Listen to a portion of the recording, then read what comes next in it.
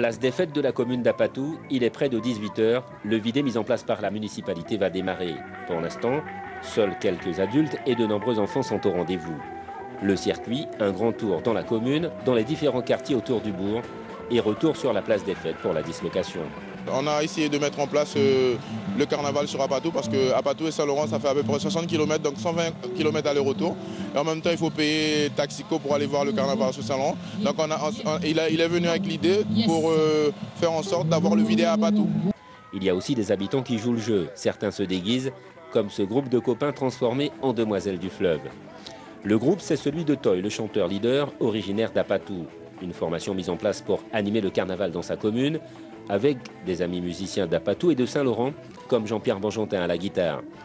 À Apatou, c'est un vidé convivial, familial. De sa maison, on peut saluer le cortège et profiter de l'ambiance.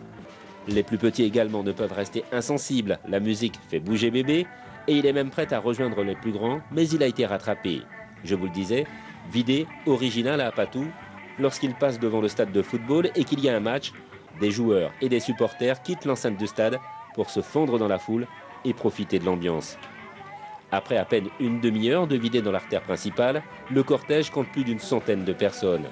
Le vidé d'Apatou va grossir de plus en plus. À l'issue du grand tour, plusieurs centaines de personnes participent au vidé. Le vidé en Pays Boni, une animation qui aura lieu jusqu'au mercredi décembre.